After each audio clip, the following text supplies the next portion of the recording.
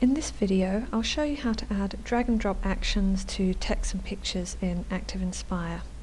So first of all we want to add some text. So we click on the text button here and I want to make a little button that says notes and when I click on this button it's going to go to the notes browser. So I type the word notes, I'm just going to give it a background colour as well and there's my little button which I can put down the bottom of the page. So when they click on that they'll be able to see the notes in the browser here. So to add the action I need to go up to my browser and click on the actions browser. And I want the drag and drop tab. And I scroll down till I get to the notes browser. And I drag this onto the page. If I just put it on the page there whenever I click on the little icon now it'll bring up the notes browser here and I can add notes to my page for teachers that want to use this page.